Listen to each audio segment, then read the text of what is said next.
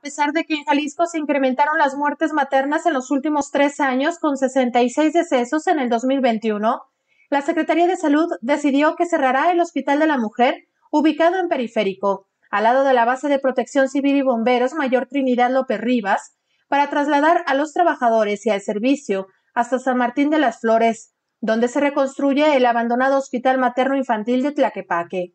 A decir del Observatorio de Muerte Materna en Jalisco, una mujer peregrina hasta en cinco hospitales buscando atención y según datos del año pasado, Jalisco fue la primera entidad donde más mujeres murieron sin atención.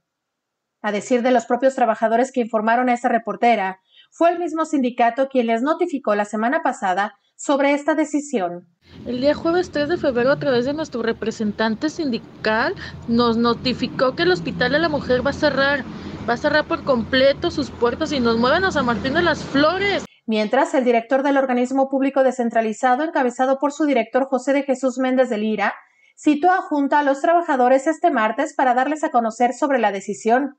El Hospital de la Mujer abrió sus puertas en el 2004, en donde hasta el año pasado recibió a 26.627 niñas y niños, además de un registro de 64.294 atenciones desde que inició operaciones. Este hospital materno que atiende a mujeres de Huentitán Lomas de la Primavera, La Jalisco, Santa Isabel, La Joya, Estadio, Fobista Estadio, La Federacha, entre muchas colonias más, cuenta con 26 camas sensables y 22 espacios para cuidados neonatales, que están distribuidos de la siguiente manera: 7 en terapia intensiva, 10 en terapia intermedia y 5 en crecimiento y desarrollo. Este hospital fue remodelado y ampliado en el 2019 con una inversión de más de 8 millones de pesos. A decir de las propias palabras del secretario de Salud, Fernando Petersen Aranguren, en esa reinauguración, esta unidad es uno de los tres hospitales metropolitanos que brindan servicio a más de 5.000 eventos obstétricos.